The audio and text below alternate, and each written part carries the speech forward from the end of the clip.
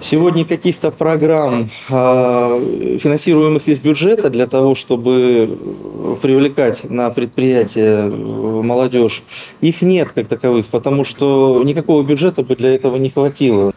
Министр промышленности и энергетики Алтайского края Вячеслав Химочка посетил технический вуз в рамках проекта «Госстарт Диалог».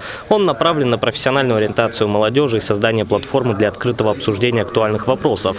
Особенно много беседовали насчет роли правительства. Органы власти заинтересованы в новых кадрах.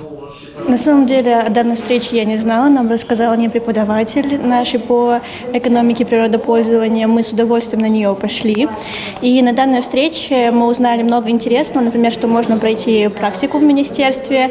Мы не знали об этом, потому что наши специальности мы вот рассматривали только заводы, что можно там проходить практику, а про министерство даже не думали. Для прохождения практики необходимо разве что дождаться соглашения между Министерством промышленности и энергетики и вузом. Подобное уже есть. Например, у Ранхикса. Как заверил Вячеслав Химочка, проблем с подписанием нет. Поэтому следующую практику студенты, скорее всего, смогут пройти в госорганах. Я сегодня был удивлен, конечно, такому количеству участников нашей встречи. Я уверен, что они все добровольно здесь были.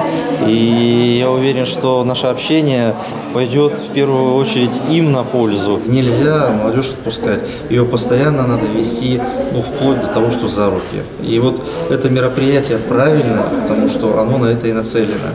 Мы должны работать э, с молодыми людьми. Данил Кузнецов, Владислав Ковалев. День с толком.